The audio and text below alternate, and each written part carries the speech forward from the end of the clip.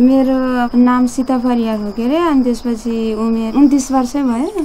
श्रीमान कतारतिर हुनुहुन्छ। नानी छ बाबु छ। नानीले एघार वर्ष बाबुले छ वर्ष।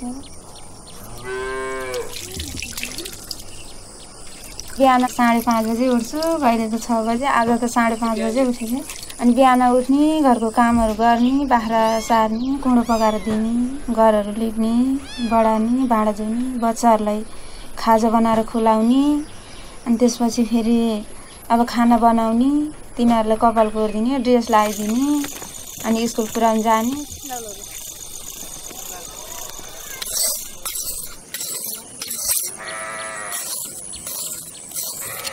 अनि एकछिन समय भयो भने घाँस काट्ने। बाख्रालाई घाँस काट्यो अनि त्यसपछि फेरि मेला गयो।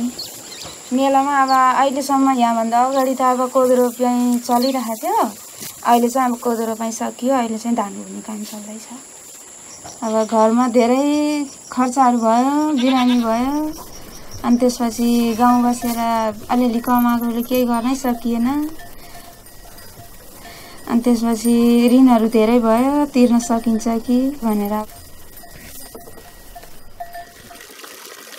जान त ऋणै माथि हो के अरे भए पनि ऋण तिरेर कतै पहिलाकोहरू घटाउन सक्ने आफ्नो घर परिवारमा कतै अलि सुख शान्ति आउँछ कि भनेर नै पठाएको के अरे अब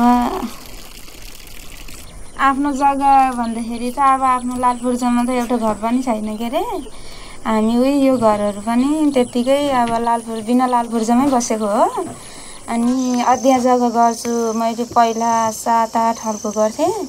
श्रीमान हुँदा अहिले चाहिँ मैले गरेँ होइन दस बजे साढे दस बजे हिँडिन्छ बेलुका छ बजे छुटेर घर आउँछौँ।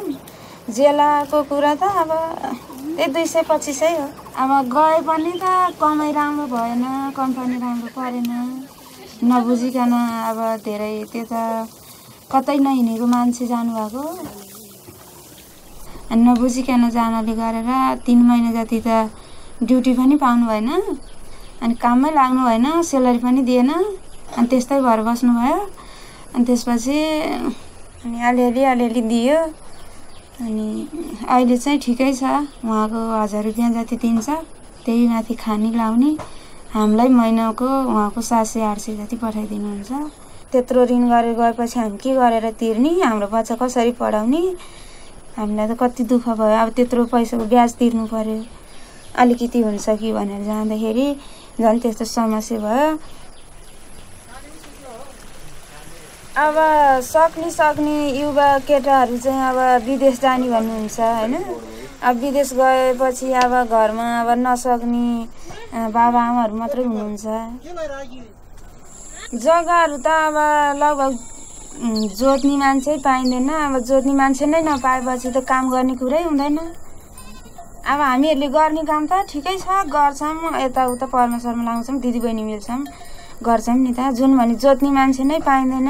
मैले भन्दैछु अब एक वर्ष पुग्न लाग्यो ठिकै छ सेलरी बढाउँछ भने बस्नु। नत्र भने त्यति गएको ऋणहरू तिर्नु त्यसपछि आउनु। गाउँमै बसेर दुःख गरे पनि गरौँला नत्र भने अन्तै अर्कै मेन पावरमा गएर अलि राम्रो ठाउँमा। अब त जान्यो बुझियो नि त। त्यसो गरेर अन्तै जानु होला भनेछु। यस्तै हो। पढाइ लेखाइ छैन बुढा जहाँ गए पनि उही लेबर कामै हो। ठिकै छ अब। त्यति सुख पाएर बस्नु जस्तो त लाग्दैन के अरे है। दुःख सुख चल्छ नै व्यवहार अब पाँच दस वर्षपछि राम्रो काम चलेछ श्रीमानले कमाउन सक्नुभयो भने चाहिँ सुखै पाइएला के? नत्र भने यत्तिकै होला नि।